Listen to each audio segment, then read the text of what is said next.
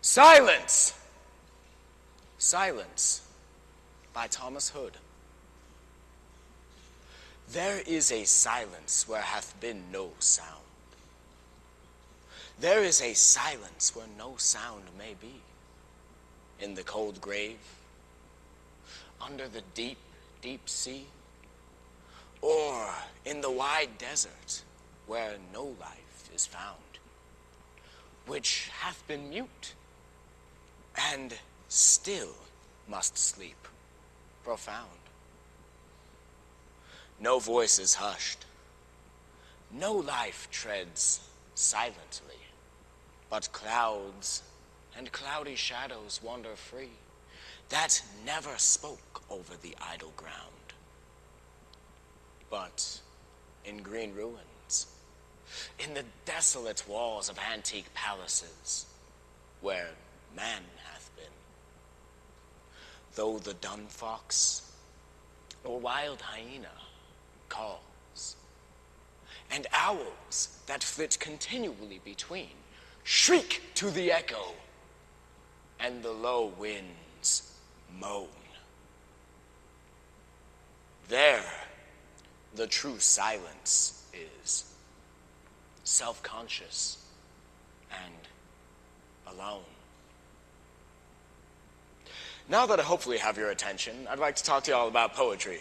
First and foremost, uh, I'd like to take this opportunity to thank any and all of you here for giving me this opportunity to speak before all of you today. To start, allow me to make an introduction. Again, I'm Austin Graef, the 2012 Montana State Poetry Out Loud uh, National Recitation Contest champion. Uh, not long after taking this title, I was asked to do a TED Talk on Poetry Out Loud and thought, why not?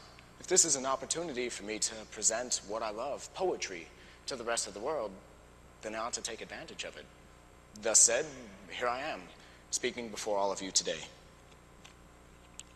Poetry has been around for as long as any historian can trace it back. Initially, it was a form of art that was intended to be spoken, for only through spoken word can the emotion of a poem truly come forth. To quote a mentor, friend, and poet, Mark Gibbons, poetry is the only truly incorruptible expression of feeling or thought. Now, why is this, you may ask? Because there's no money in it. Later, in the 17th, 18th, and 19th century, certain poets such as Lord Byron, uh, Edgar Allan Poe, and Thomas Hood emerged all men of absolute magnitude. Truly, this was the last age of the spoken art, where poetry absolutely flourished. Wherever you went, the art was sure to make itself present.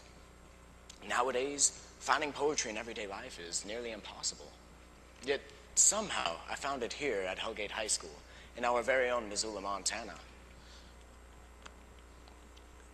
I was given an opportunity to recite as an English final and grabbed at it, not knowing later on how much I would end up benefiting. When somebody recites art, when they pour their poem, their heart into a poem, and know and learn and understand and connect with it, it is the deepest form of love imaginable. And for anybody to share that love with our community is the greatest gift that they can possibly give. I encourage you all to bring poetry into your classroom or your home in hopes that others may also know that deep form of love and expression and may also have that opportunity to learn and to grow from immersing themselves as poetry like I have. Thank you.